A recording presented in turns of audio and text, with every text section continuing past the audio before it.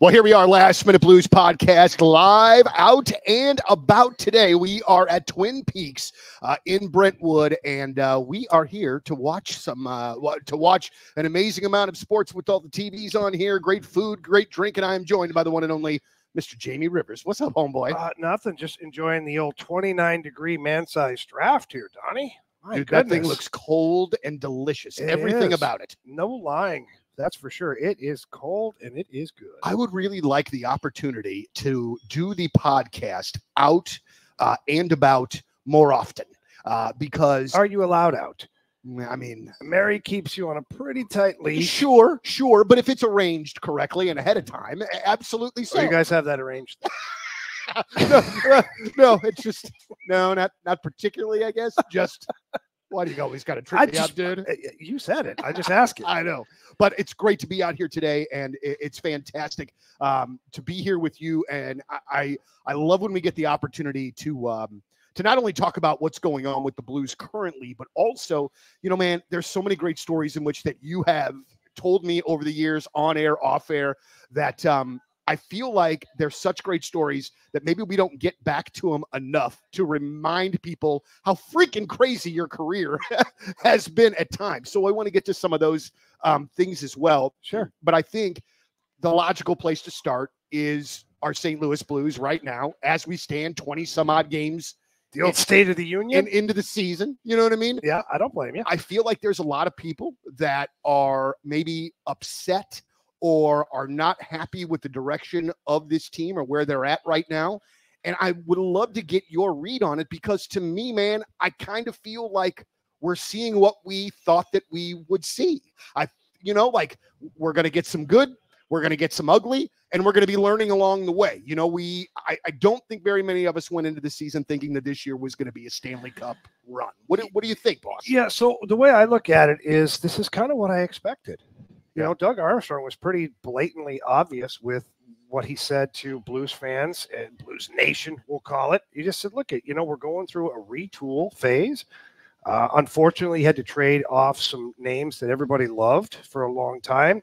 Some guys that won a cup here, guys that were character guys, but they were, you know, the contracts were up, they weren't coming back. So, how do you transition into the next phase of the Blues? Because yeah. you have a big portion of your team that has long term contracts, a lot of money committed to it, and the other portion now is moved on or they're younger. Yeah. So, how do you get to the next phase of what the Blues are? You're going to have to have a little bit of a retool. And I think Army was was really smart with it. Picked up guys like Kapanen and Vrana. And then the offseason got Kevin Hayes. Like Braden Schenn is now your captain. Scott Perunovich is making strides in the right direction. Tyler Tucker looks good. So this is kind of what I expected from this team. Yeah. I mean, as it sits right now, we're in the playoffs. And I know that there's a lot of Blues fans that were really, really upset last year with the team not making the playoffs, me being one of them. Yeah. So the fact that this team right now is able to be in a playoff spot 20 games into the season, that's a positive thing. Yeah, 100%. So I think it's curbed the expectations just a little bit. I don't think we're ready to order the rings. Right. You know what I'm saying? Yeah. But at the same time, this is not a dumpster fire. And I think that what people are seeing are some games where the team looks really, really good, and other times when the team doesn't look prepared or they're not competing enough. But this is some of the growing pains you're going to go through when you have a retool. This yeah. is the blending of the older talent and the younger talent kind of finding their middle ground. You know, so um, one of the things that um, we have been very fortunate over the time to do this podcast, and uh, you know, obviously Jeff is not here with us, you know, this year to kind of uh, to to carry on, but um, I often like am sitting watching a game, thinking to myself. Who would Jeff be geeking out over that you would be going, hey, reality check, my man, i.e., his absolute fascination with Klim Kostin. Yeah, the old Klim Shady. So so much so that when Klim Kostin got traded to Edmonton, I was still following him because whenever he would do something great, I would just think about, you know, I would think about Jeff. And so I'm looking yeah, Klim at this. Kostin became like Cam Neely in Edmonton. Oh, oh my what the hell happened there?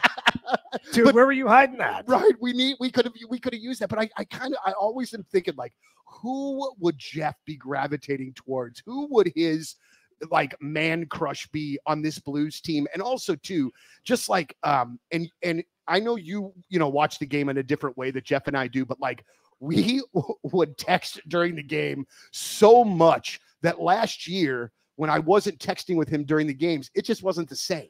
You know what I mean? Like there was just something about that Yeah. goofball coming out of nowhere with something, whether it be a love of a player, a hate of a player, a, a wacky, you know, like like look at things.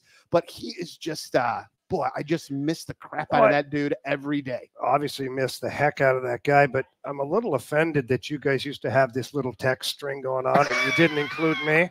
Oh, oh yeah, sure. Like Well, I feel a little bit like I was being cheated on. I'm not oh, gonna lie. dude. And okay, let me tell you something. If we would have messaged you, you wouldn't have messaged us back anyway. So it wouldn't have. So Well, it wouldn't have so mattered. what?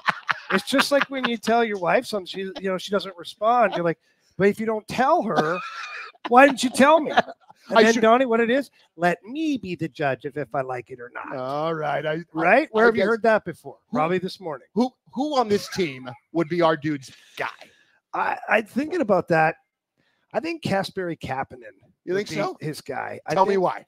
Well, because he's got tremendous amount of speed. Yeah. He's pretty gritty out there. He's kind of like Jeff liked the guys that were somewhat under the radar. Yep. He, he didn't pick the obvious star Right, right. and he didn't pick the, the obvious tough guy. He liked kind of the blue collar guys. He's Bob Bassen. You oh gosh, I forgot his love of Bob Bassen. love, it's an infatuation. You're right. It's an oh my gosh. I totally forgot about that. Dude, we would go, we would not go two podcasts back to back without a Bob Bassen reference in there somewhere along the If way. we go back, I bet you there's a subtle Bob Bassen reference every single frigging podcast. Every single one, man. Yes. The only other time in which that we got to do this, where we got to broadcast and do the, the podcast live, is uh, we were out with Brett Hull, and it was, and I don't know where it was in Jeff's sickness, but he was hurting that day, man. He was not in great shape, but like he did with us every time, dude. Every time he would come in ready to go. Well, we used to give I him mean- crap. We're like, dude, what are you doing? You were just at the hospital this morning. Yeah, You missed half your own show because you couldn't do it. Now you're here doing the podcast. But then he'd, he'd kind of throw it back at us and say, well, yeah, this is helping me get through some of this. I love doing this podcast. I love talking blues and love hanging out with you guys. And so, you know, not that we became part of his therapy, but we kind of did. yeah. And to your point, looking back at, you know, some of the pictures from that day, like he really toughed it out. Like you talk about playing hurt, like this guy man. epitomized it. dude and i mean he, and he did that so much for us towards the end and i was so like adamant about like yo man stay home don't come to work and i didn't realize until much later like yo he like needed that sort of thing did, man yeah. so that's why like uh you know when when we do the the intro of the podcast the the outro of the podcast we're always going to include jeff as as long as we Absolutely. do this because he will always be a uh, a, a member of our Well, he's also the founding member. yeah This was Jeff's crazy idea. yeah Let's go back. Let's be real here for a minute. I'd, I'd have to even think about it. I mean, I'm sure I don't. I doubt you. remember the friggin' moment Yeah. because this podcast got its name because it was literally at the last minute Yeah. before I was going downtown to do TV for what was Fox Sports Midwest at the time. Uh-huh. I had jumped on uh, that spring with Anthony Stalter on the turn midday, just kind of helping out. Then the Blues made the playoffs, and then Jeff was like, "Hey, we should do a podcast." I was like, "Hey, great idea. Yeah. Let's do a podcast." He's like, "No, like today." I'm like, "What?" He's like, "No," he goes, "I think it'll be awesome. Let's get a podcast and people can listen on the way down to Enterprise Center." So I'm like, "Oh, okay." Yeah. And did we? He, he must have grabbed you in a headlock, Yeah. and Eh, he didn't have to do much convincing, dude. we're off and running. And I- he goes, I go, what do you want to call it? He goes, like, I don't know, like last minute blues podcast. And it's kind of a play on words at the same time. Yeah. I didn't think about it. I'm like, okay, sure, whatever you want to call it. I don't really care. I, I don't even know if you know this or not, but but Jeff kept me from absolutely going crazy on our imaging guy because originally, okay, so listen, and this is a stupid thing that I get mad about, but I get No, mad about you. stupid things. I know. So we had an intro to the podcast that said, "What you're listening to the last minute blues," and he did not put podcast on the end of it because he thought that it would be redundant to say last minute blues podcast When it's a podcast. when it's a podcast. yeah. Fine, okay. But it's not your podcast, Jack. How's your heart rate right now? Good. Well, it's fine, but it still drives me crazy. And then, like, as this is going on and I'm getting madder and madder, Jeff is thinking that it's funnier and funnier the matter in which that I'm getting. But like, I just could never let go. And I think for probably like the first year of our podcast, it drove me nuts when I heard the But we did and I- change it. no, he fixed it, but he fixed it after the boss told him to fix it. Well, I remember I having a vote in this, and I was like, "Yeah, call it Last Minute Blues Podcast." I don't care if it's redundant. Right. Because if the intro just said "Welcome to the Last Minute Blues," it would be stupid. Maybe think you're playing the blues. just yes, it would just be awful. And I can't even believe that like that got out of the idea stage. Like somebody doesn't just go, "Hey, this is bad." No, we're not doing it. Donny, way. some of those voiceover guys, Yeah. are like Ron Burgundy. I get it. You just read what they put in front of you, buddy. Yeah, I get it. I I absolutely get it. So we've talked a little bit about uh, the Blues, obviously so far, where we think that they're at this year. Uh, there's a couple of things that I want to bring up um, specifically. The first thing that I have to bring up, and I hate to do it because we're having such a nice time, What? is the Blues power play. Um, it is, um, and I think You know, Donny, in the last 10 games, the Blues lead the league in high danger opportunities on the power play.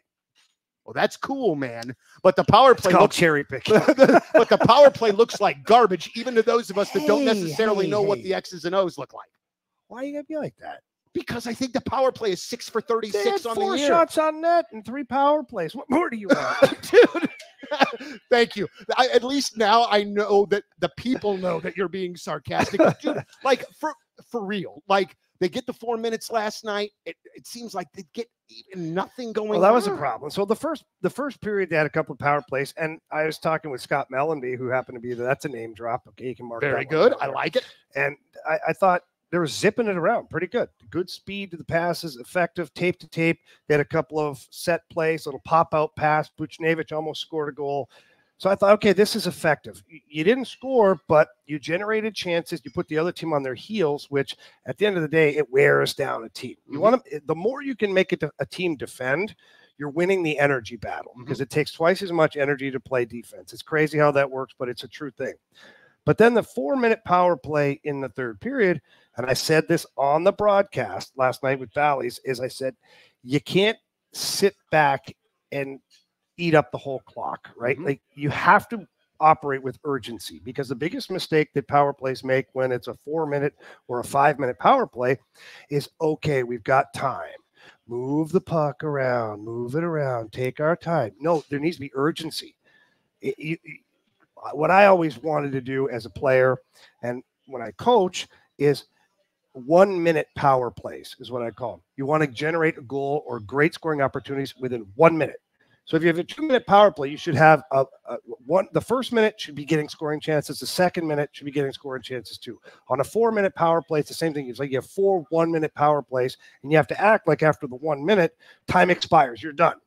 And when you do that, you play with more urgency. When you do that, you play with more intensity. You retrieve pucks more. You put more pucks to the net.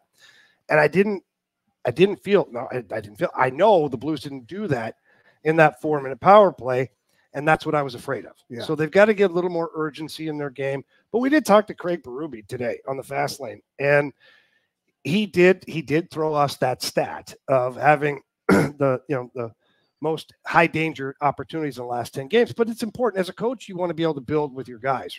Can you imagine just sitting there and just kicking them in the balls over and over and over again? Absolutely. Like it might be fun to do it, but it's not fun for the players. Sure, sure. Okay. And so when you're the coach, you have to find positive things to build off of for your team because the first part of the, the season, the power play was not very good. Right. Now, in the last five games, I think they've got three goals on the power play. I think could be wrong, but I know they definitely have three. It might even be four. I'm not sure. You can fact check me later. Plus, it's being recorded, so I could be right. Who cares, right? go back and edit it out and post after the Nah, fact. we don't edit anything. Mistakes are funny. Right, right, right. So, what do you see? I mean, it, there's not a quick fix to this, really. There is. Absolutely, there is. I think you juggle up the power plays. You get a lot more of a shot first mentality. You get guys like I would love to see Robert Thomas on his offside. He's playing on his strong side right now, which I know he likes it because he likes to hit that seam pass, which we saw to Pavel Buchnevich against the Chicago Blackhawks. But when you're on your offside, he can move the puck down low quickly. He can move the puck to the middle bumper guy quickly. He can move it to a one timer, Torey Krug, or he can take one step to the middle and drive to the net and shoot the puck himself. So he's got four options being in the one spot. Whereas in the other side of the ice, he's got one option available. And the other option is a shot, but everybody knows like that defenseman fronts the puck. It's like remember when Vladdy, we get a little frustrated with Vladdy on his strong side. Yeah. Because he'd hang on to the puck, and then everybody this side of the Mississippi knew he was going to shoot it. Right. So the defenseman just blocks it, gets a stick in there, or they take the shot lane. This is kind of happening to Robert Thomas right now because it's it's slow evolving. It, you just can't cradle and shoot very quickly sometimes like a one timer. Sure. So that's why I'd like to see him on the offside, generating some chances over there. And then I'd like to see a power play where we mix it up, like Jake Neighbours in front on one power play, Braden Schenn on another. I like Torey Krug, what he's doing right now because he's shooting the puck more. And the other unit, look, Scott Perunovich is the future of the power play. But not right now. Mhm. Not right now. He, he does a great job of walking the blue line. He finds great passes, but I want Justin Faulk up there just hammering pucks. I know everybody wants Colton Parayko because Colton Parayko shot the puck 105 miles an hour. It is impressive. Trust me. Do you know who has a higher velocity than Colton Parayko per average? Justin Faulk. Really? I did not know Justin that. Faulk shoots the puck anywhere between 96 to 100 miles an hour on a regular basis. And, and Justin Faulk has uh, a better idea of where that laser beam is going. Is that also yeah, true? but the argument you made right now, Colton Parayko's scoring some goals. He's doing a good job. yeah. Uh, so I, I, this is it, by no means is this a Colton Parayko like doesn't belong on the power play. Oh yeah, yeah, yeah. This is more of a Justin Faulk might be a better fit for that second unit. And now you've got a couple of guys that are loading up the shot, getting it on net. In fact, I don't even care if you go with Perunovich and Faulk on that power play, to be honest, because Perunovich likes to move the puck. He doesn't like to shoot it as much.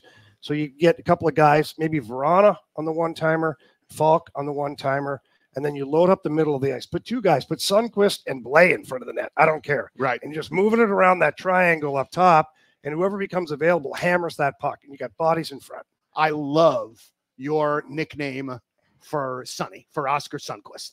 Junkyard Dog is the exact, I mean, dude, that is exactly perfect. Like, and also too, and I'm thinking about this because Junkyard Dog was one of the first wrestlers that I absolutely loved in the WWF. you liked the collar, didn't you? dude, I thought I just thought he him I'm obs- dude, he would he would bark at his opponents for the love of God. All right.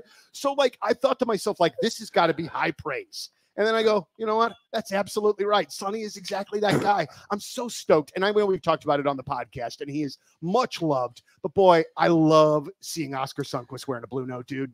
Well, I, I was trying to think of something to reference when you're talking about Oskar Sundqvist because it's difficult to encapsulate. That's a big word. Okay, It is. plus one. Well It's difficult to encapsulate what he is and what he does for your team. Then I'm watching him and I'm like, okay, so a junkyard dog, you look in there, very seldom do you know what kind of breed it is. You're like, I don't know what the hell that is. Uh-huh. But it also looks grumpy. Hmm. It looks beat up.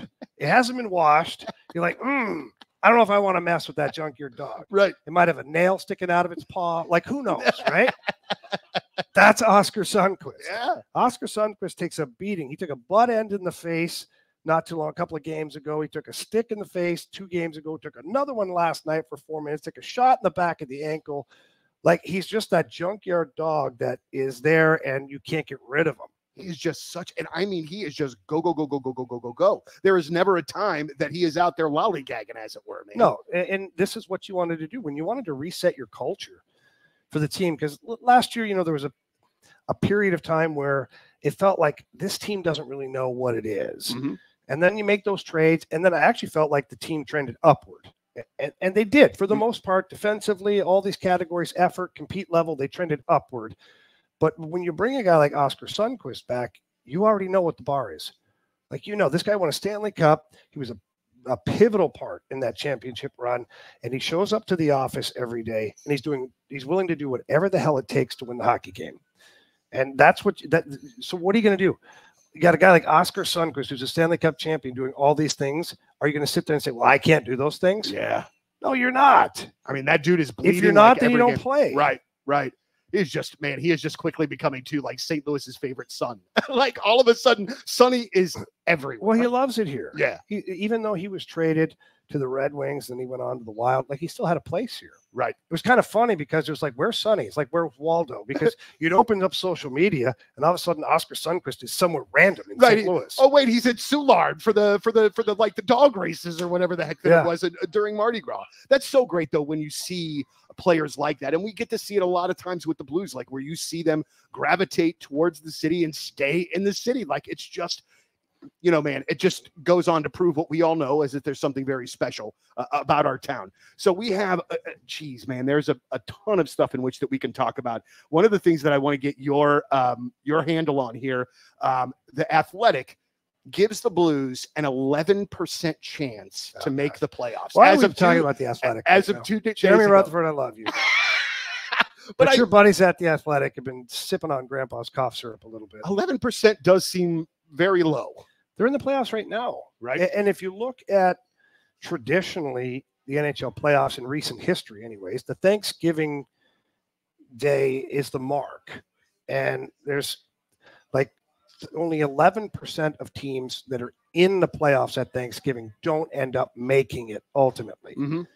So I don't understand why they would have that kind of a percentage right now for a team that is hovering above 500 Right. In a conference that's struggling overall. You have you have the haves and the have nots right now in in the Western Conference, and the Blues are right there where they're not quite a have, but they're certainly not a have not. But you look at the bottom feeders like Edmonton struggling; they've won a couple in a row now and whatnot. But Edmonton, Calgary, not great. You, go down Arizona, who knows what the hell they are. Chicago is what we thought they would be ultimately. Connor Yeah. Bedard's a nice piece, great going. A couple of issues going on there with Corey Perry and things like that. But you know, um, I think the Blues are in a playoff spot right now, and I think they're going to stay there. They, they might hover in and out of there, but I think ultimately at the end of the season, they get in there. I understand that we have to be very, very careful. Why? But It's a The la- podcast. We do what the hell we Dude, want. the last 24 hours of hockey Twitter has been absolutely flipping insane. Explain, Donny. What do you Dude, mean? it, it, I mean, so I I get a message from uh somebody in the urge, and he's like, Hey, You can name drop. Go ahead. okay, well, it's Jerry Jost, the guitar player Yeah. extraordinaire, badass man, and a big hockey fan. Hey, uh, why don't you uh, go and search uh, Connor Oh Bedard, boy. Cor- Corey Perry. And I say, okay, man. I ba, ba, ba, ba, ba. oh my God. Oh my God. Oh my God. So first and foremost, okay, and I want to take this like I Just feel do so whatever s- you want with it. dude, I feel so sorry for this poor kid. Yeah, it's brutal. Like I feel so sorry for him. Like I don't know what happened. None of us really know what happened, but like Well, I have a pretty good idea. I'm sure in which that you do. But if that story is not true, I mean, but even if it is, this poor kid, oh my Yeah. God, I cannot imagine the chirping. Like, I could not imagine the chirping. So let's start with this. The only reason that that got started was because people Googled Connor Bedard's mom. She's an attractive woman. Okay. And so they tried to put two and two together and be like, oh, okay, like why would Corey Perry, you know, and then they just came off the mom's trip not too long ago. Like people are really reaching. Yes. I'm going to say this very firmly. The rumor about that is 100% false. It never had any substance to, substance to it. It was never true. And what I hate about it is that it's funny for the internet. Like, trust me, I giggled my butt off at some of the memes and some of the things and some of the little videos. Hilarious. But then you got an 18 year old kid who has been in the spotlight, like to say the least. Internationally. He's got cameras in his face every single day. He's trying to perform, he's trying to play hockey. And now you get this dumb rumor started, and you've got to try and sit there and not address it because it's so ludicrous that you know you don't want to even give it life. And you're trying to play hockey with a tremendous amount of pressure on you, with expectations through the roof. Which was already there anyway Yeah. before all of this crap happened. It's just it's unfortunate that somebody that so that's the power of social media in a dangerous way. Of course. Yeah. is that stuff like that doesn't get verified.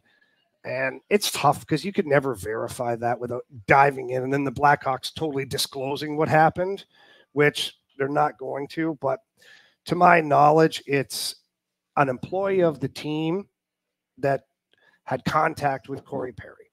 Not a mom, not a this, not a that. And you know, I don't know the, the all of the information regarding it. I'm not going to get into it because, you know, Yeah. I don't people say, "Oh, you got this wrong." No, but the, the crux of it is is that was an employee fraternizing with a player. All right. So if you are in the brain trust of the Chicago Blackhawks, this is happening Don't right you now. ever wish that upon me? I, I would never wish that upon you. You know me, and I would never do that. but yo, man, like this is the future of your organization. And then, oh, on top of that, this is a young man that's still growing, still maturing.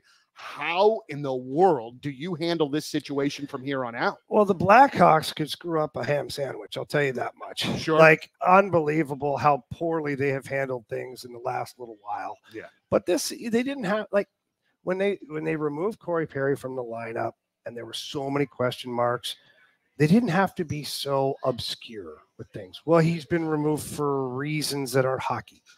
What the hell does that mean? Sure. So now people go poking around and like, whoa, what's going on here? Let what did he do? speculation begin. did he did, was he was he drinking too much were there narcotics were there this like they really go diving for the worst case scenario and the blackhawks let it kind of breathe they, they they gave it life a little bit by not addressing it head on and then it got to the point where then the Connor Bedard rumors started which were asinine but they still never addressed it right away Yeah. and then even in their addressing of the, you know, waiving him for purposes of termination of contract, they still didn't really clarify things. And I understand there's probably legal reasons to the latter, the last part of it, where the termination part. Sure. But man, there was nothing that says you can't get out ahead of this and be like, listen, it has nothing to do with any of his teammates or their family members. Man, I mean, just a just an absolutely bizarre. Well, imagine being 18 years old, you're in a locker room, you have to walk in the next morning, and all of this stuff is all over social media. And then also too, let's be honest.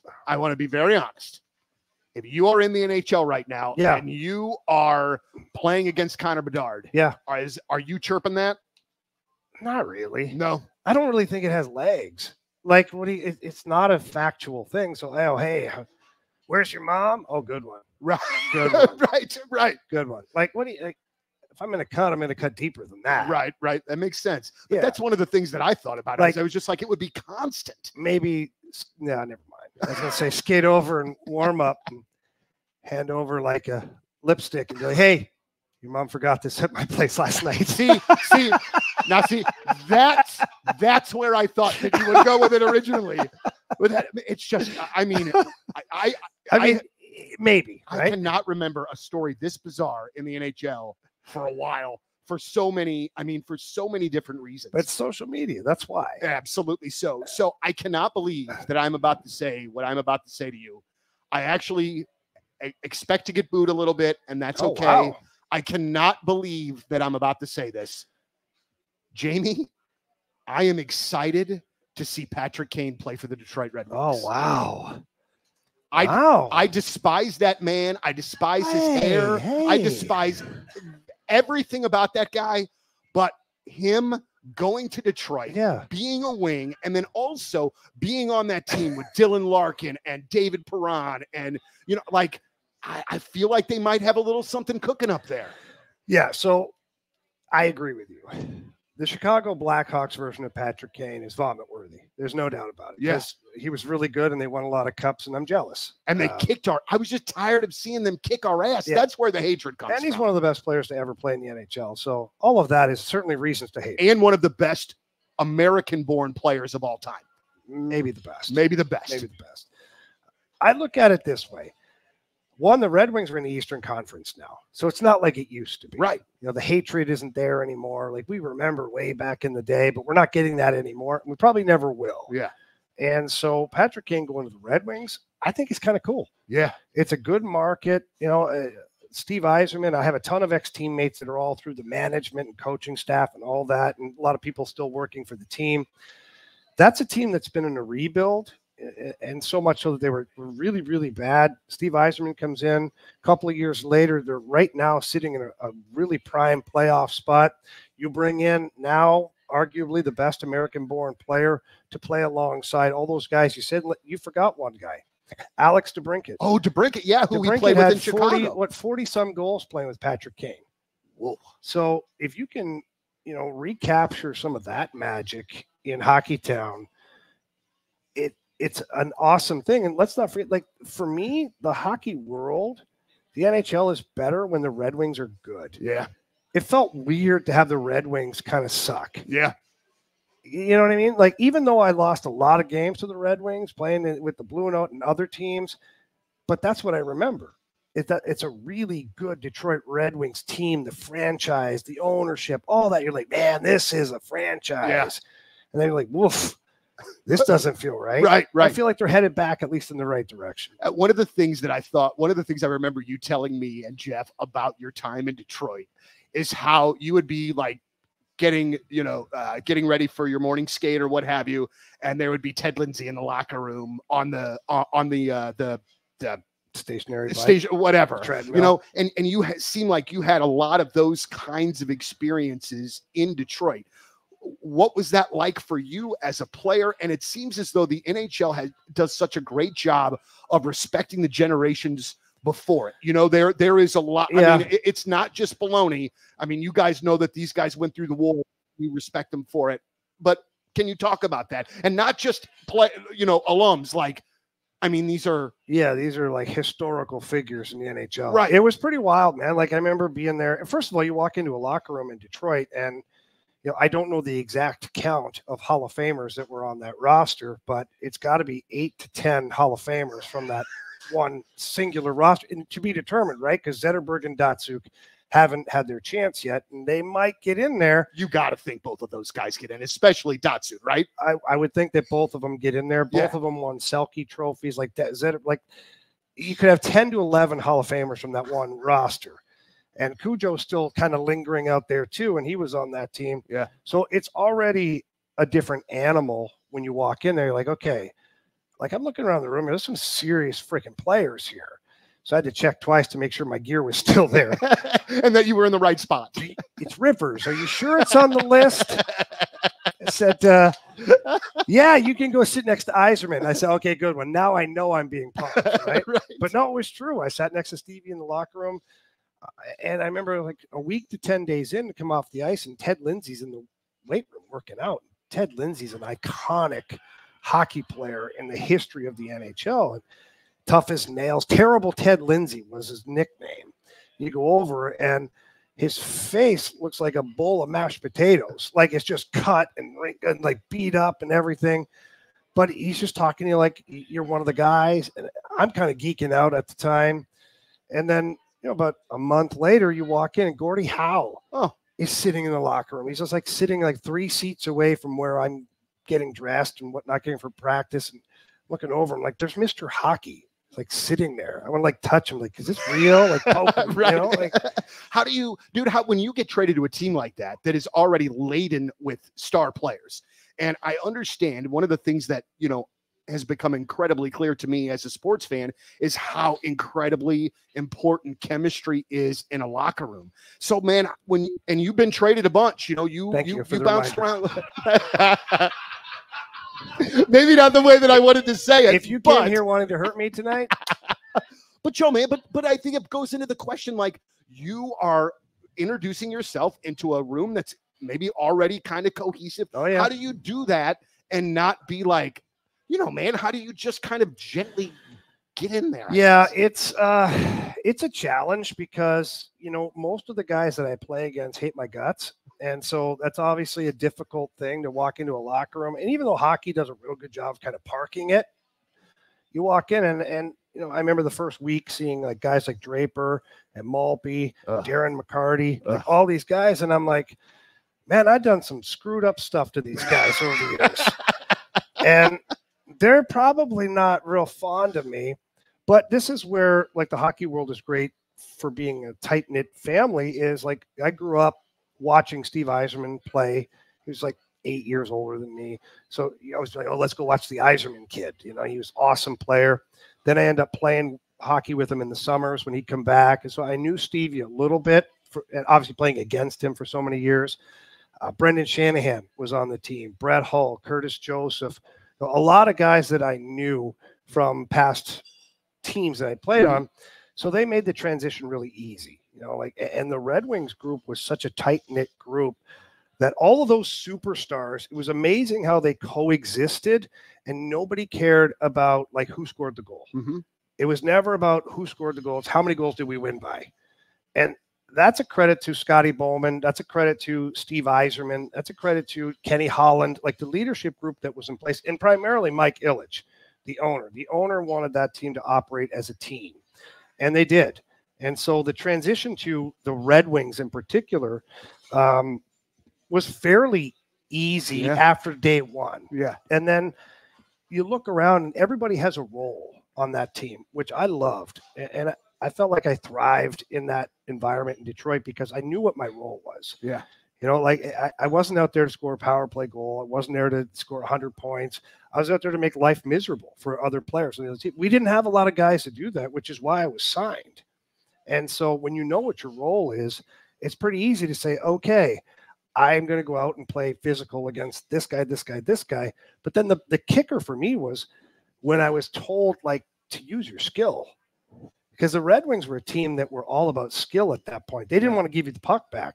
And I've told this story before, but for maybe people who are listening for the first time, it's my very first shift. Nah, one of my first shifts for the Red Wings. I'm playing with Chris Chelios, which is unbelievable. Unbelievable. He passes the puck D to D in the neutral zone.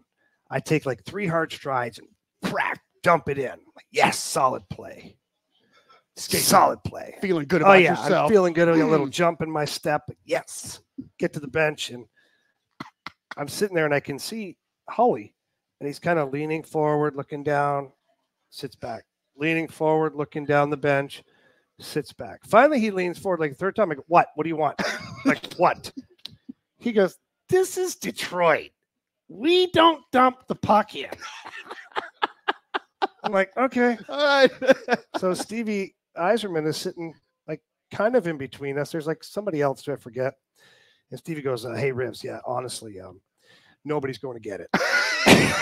He says, You dump the puck in, we're not going to get it." yeah, I find it so amazing. So they did basically at that point. They like Stevie and Holly and all these like Hall of Famers said, "Listen, man, you're here because Ken Holland knows you can play the game. Yeah, Yeah, sure, you're here to rough people up and play aggressive and do all that, but you can play the game. You can handle the puck. You can shoot. You can pass."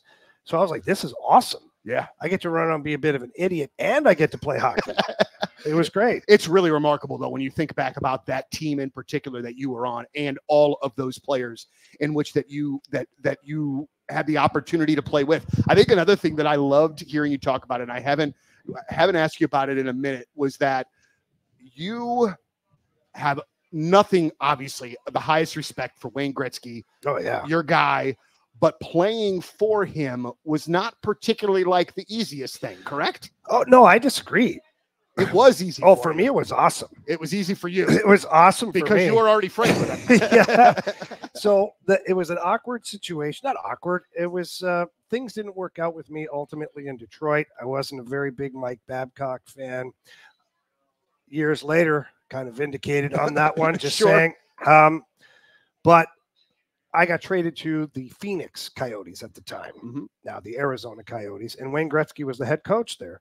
And you get there, and you're not really sure you know what their plan is for you. And I know I I knew I needed to play because my contract was up. I was going to be in a UFA, and I barely played in Detroit under Babcock because you know it's Mike Babcock. Mhm. Anyways, so when I got there, I played a couple of games, and then Gretz comes up to me and he says, "Hey, listen, man, got to make sure that you're like airtight, like off the ice, stay in shape, you know, this and that." And I'm like, "Okay, you know, I get it." I'm like, "I'm not really boozing, like, I, you know, Right.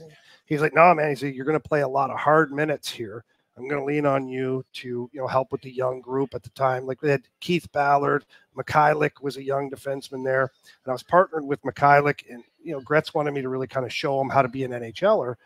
And how do you do that if you're going to play seven, eight minutes and be a donkey? Well, you can't, right? So my minutes increased to 18 to 20 minutes a game, playing regular shift, second power play unit, first penalty kill, blocking shots, doing all that stuff. And, but it was because of Wayne Gretzky. And Gretz just said, You're going to play a ton. I need you to play good. I need you to keep your act together, like on and off the ice. And that's that. You Yeah. want another contract, that's how you get it. And so it was great. I absolutely loved playing for Gretz. There were times we'd have some funny times on the plane, uh, funny times at like the bar away from the team where he's just like trying to figure life out as far as a coach. Because he kept, he, remember this one, I won't name the player because it's irrelevant, but player X, we'll call it, is on the power play and he's just, it ain't working. But he's one of our best players, but it ain't working. And Gretz has got me at the bar that night, and he's like, I just don't understand. How can he not find the guy that's open here? How does he not see the play of ball? How does he? He's like going off. And I go, hey, his last name isn't Gretzky.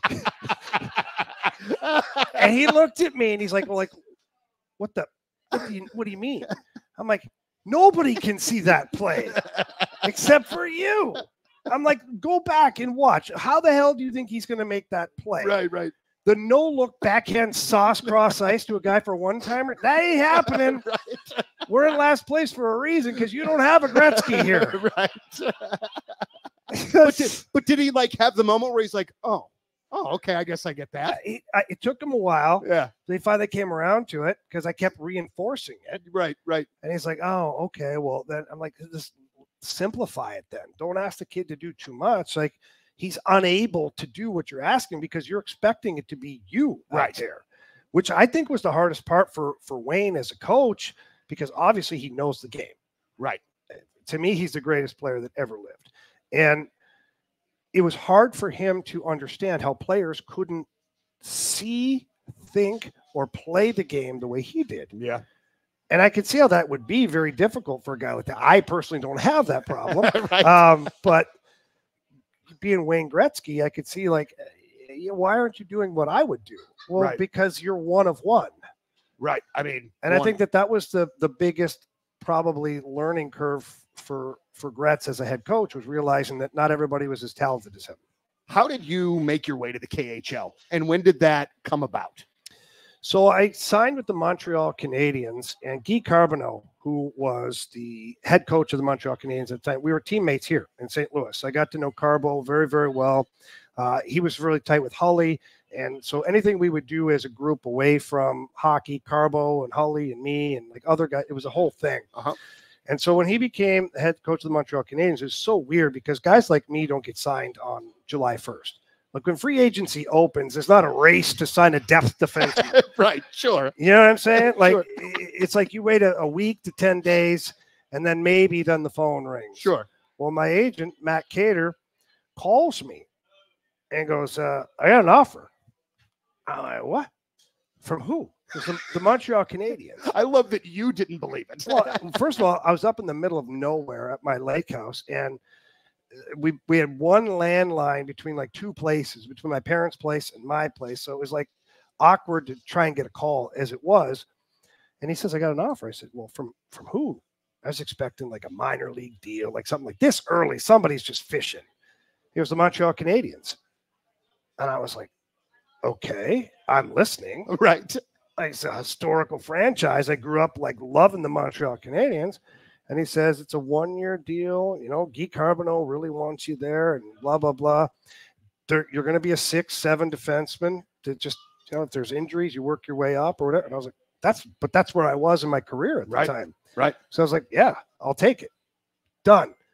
Well, there was the GM there, Julian Brisebois, two or three weeks later ends up signing signing Patrice Brisebois. See what I'm saying? Yep. And um, so Patrice Brisebois was already a Montreal Canadian a long time before. So he wanted to come back and end his career as a Montreal Canadian, Oh boy. but he wasn't a top six defenseman. So whose spot do you think he took? I believe that was your role, sir. It's my spot. Yeah. And I get it. He was there before and, and the connections and all that. It was great for him. Right. And I got to camp and I, I outplayed him. Like I'm not lying. I outplayed him. I had a really good training camp. I had a good preseason. And then they're like, well, look, we're going to put you on waivers and you'll only be down the mi- if you if you clear you'll only be down the minors for probably three weeks or a month you know we'll get you back up here and i was like nah i actually said i'll have to think about it Mhm. and then I called my agent and I was like, call Russia. I was like, just get me money. like my career is over at this point. Sure. I, am thinking to myself, my career is over. I signed as a depth guy. They want to send me the minors. I was 30 plus years old. I'm like, this is not happening. You know where it's. I mean, you know where it's going. Yeah, I'm not riding 12 to 16 hours on a bus anymore with soggy French fries. Like it ain't happening. And so I had my agent call uh, the our agency over in Russian. It was the Russian Super League at the time, so it had absolutely no rules. Like the KHL is like a very refined version of what I played in. Okay. And so a team in Moscow, Moscow Spartak, offered me a contract, and the money was like twice as much as what I was going to make in the NHL that year. And so I said, "Fine, I'm doing it. I'm not going to Hamilton to play for the Bulldogs, Sure. waiting for a call up." Mhm. So I was just like, "I'm willing to accept this as my last moment in the NHL, and I'm going to move on and go make as much money as I can playing elsewhere." And that's kind of how it started. And I went over there and, and played for one season, which was enough. Right. It's good with that. You only played there for one season, Mhm. only one year. Yeah, it So- felt like seven, Donny. Right, right. But but so like at the end of that first season is when you had the incident on ice. No, that was two years later. That was two years later. Okay. Yeah. So how wh- wh- where are we after this? So then I guess I lost I lost track of your career after the KHL. I Me suppose. too. Don't worry. Me too. So I went from the Russian Super League, and at the end of that season, I'd had enough. And, that's we'll have a podcast. We'll do a podcast one day where we talk about the Russian experience. okay. Um, and, and there were some really good moments, and there were some really trying moments during that year. I just had had enough. The, the way the season ended, I was like, yeah, I'm good. And so, oddly enough, then the Atlanta Thrashers end up offering me a contract. Huh. I know it was crazy. All right. So I report to Atlanta Thrashers training camp, which I was like, why the hell? Like, but they were in the same position where they had a young group of players and they wanted a veteran guy kind of around and whatnot. Now they had been very clear with me that I'd probably start the season in the minors and whatnot. And I was fine with that because in the minors it was the Chicago Wolves, were the AHL affiliate. My brother had played for the Chicago Wolves. The ownership there is awesome, and they paid guys like NHL league minimum type salaries to play in the minors. So you're playing in the minors, but you're being compensated at a higher level, Sure. which I was okay with. Because Um, you got young kiddos at the time. Got young kids. Um, Chicago is a quick drive, you know, it, and that was a veteran guy. It, it just was a, a Good. good, situation. Mhm. Um, so I, I ended up playing in Chicago that year. I never did get a call up, which I wasn't guaranteed a call up. I knew that, but I made pretty good money. But then the following year, a team in Switzerland called, which is where I wanted to go a long time before. Which, if we back it up to my last tour duty with the Blues in 06 07, I had a three year contract on the table from a team in the Swiss League making like pretty good money. And I passed on that because John Davidson called me and offered me a contract to come back and play for the Blues. All right. In hindsight, I probably should have went to Switzerland when I, at that point because the Blues end up being kind of like my last real stop in the NHL. It was on a one year deal, but you hang on for dear life. Mhm. Like you don't ever want to leave the NHL. And had it not been the Blues, I probably would have went to Switzerland. But it was the St. Louis Blues calling me again. I was living here and it was just like, yeah, I want to be a blue again. Like I never wanted to leave to begin with. Right. So for me, I was like, I want to come back home. And I did. And it was a good year. It was fine. We had a bad year as a team. It was a rebuild was starting and all that stuff. But it was really fun to be a blues player again in St. Louis and and, go through that experience. But getting back to Switzerland is years later, team in Switzerland still came back again, offered me a contract. And let me tell you, that's the life. Playing in Switzerland was unbelievable. They paid good money, not NHL money, but good money. Mhm. They give you a place to live. They gave us a car. They gave me a scooter. Oh, that's awesome. Dude, you should have seen this disaster.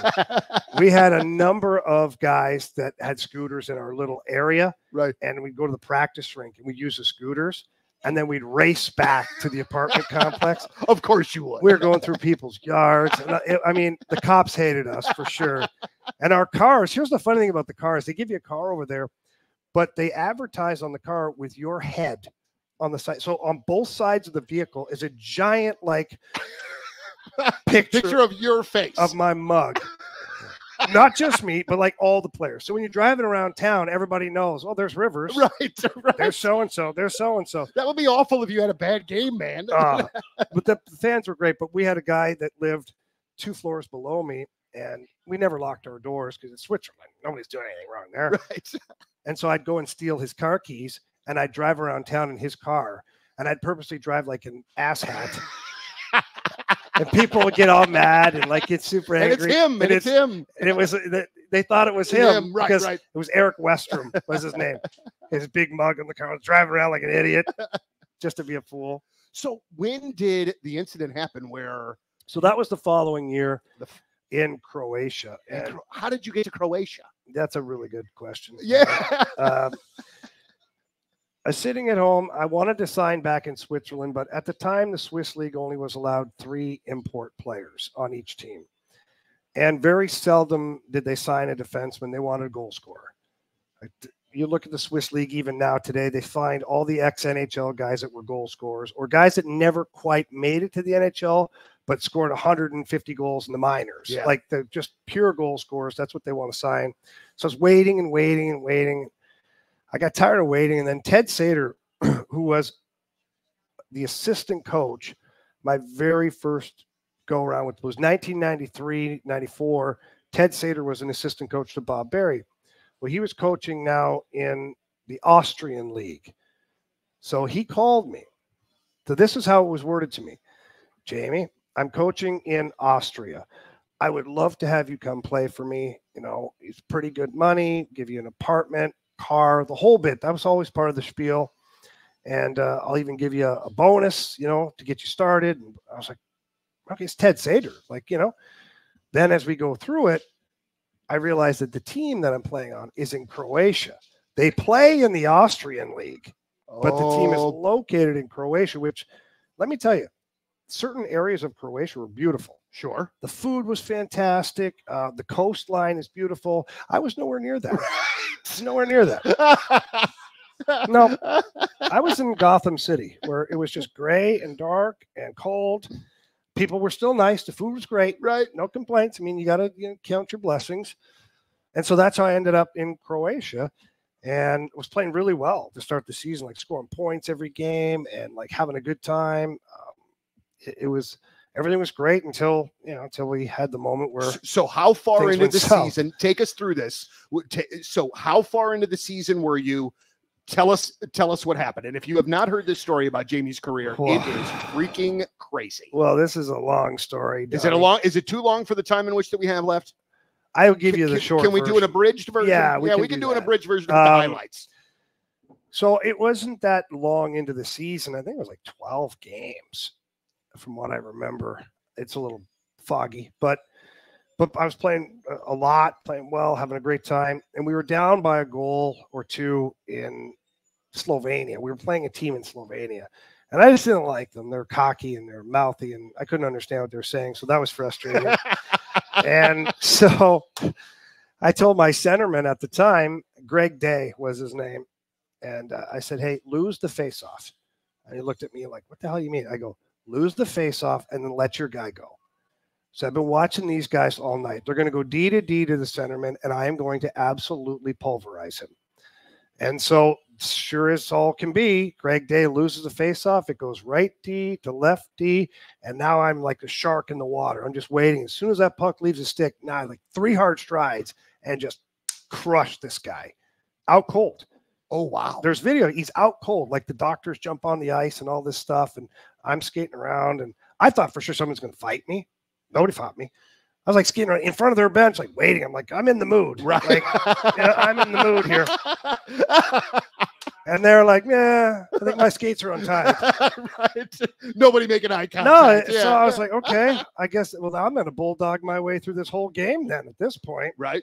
And so we kind of did. We st- I think we still end up losing. I don't know. That was a still foggy.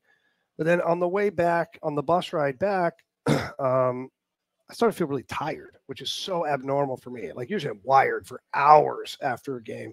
Hell, I'm still wired for hours after a broadcast Sure. these days. And So I took a nap as we were headed back to Croatia, which again was out of character. And then at the time, uh, you know, my ex-wife was there with our, our, our kids, and they were headed back to St. Louis. So they were. I got to the apartment, loaded up the car with or the truck with all the luggage to the airport, got them settled, and they're off and running. I forget exactly what their route was, but it's a long day going from Zagreb, Croatia to St. Louis, Missouri. Sure. So I got back to the apartment and I started to feel tired, really tired and sore. And I was like, ah, got the flu or something. And so I was like, I gotta take a nap. I woke up from my nap and I couldn't move. I was in so much pain. I didn't know what was going on. And this is where we'll skip some of the details. You Yeah. know, it is there is an article in uh, on Google that you can go and, and just punch in Jamie Rivers death certificate Yeah. and it'll give you the whole breakdown of all of it. But essentially, I went from being in a lot of pain to calling a trainer who didn't speak English to going to a hospital where nobody spoke English, and hours upon hours went by to find out eventually that my spleen had burst.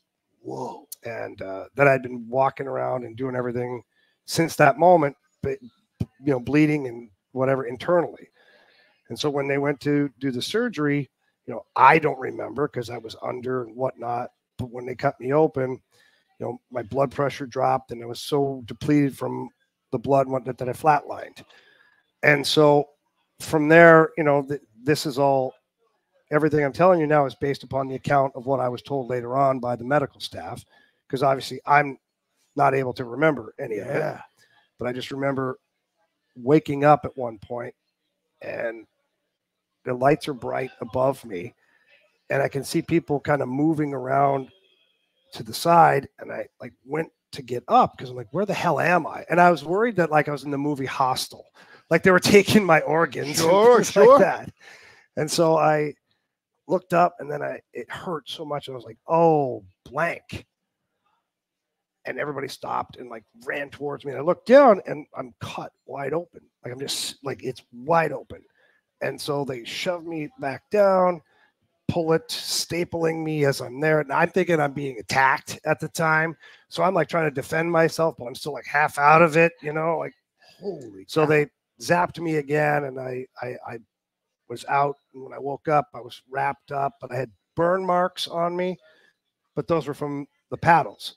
I found that out later that they, you know, were trying to like revive me, and so I don't know.